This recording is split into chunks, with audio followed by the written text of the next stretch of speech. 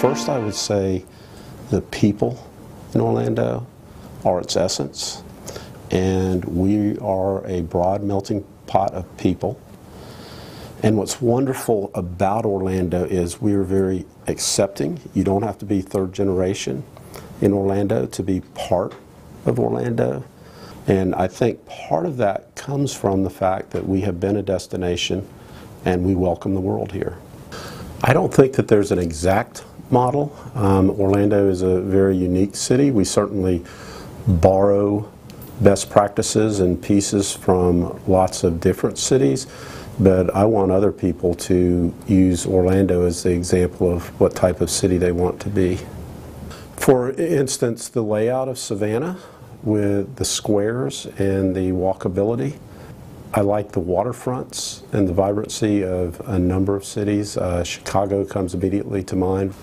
Sculpted artwork in cities from to Seattle to Philadelphia to Chicago come to mind.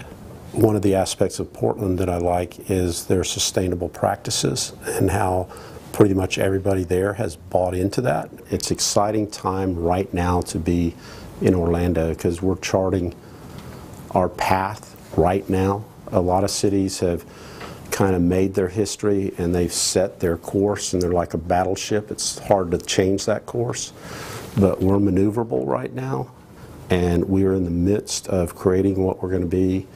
Our diversity and the fact that we embrace diversity is a great strength.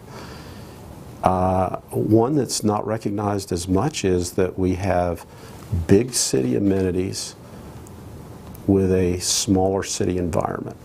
People know each other and they feel like they don't live in a giant city, they feel connected.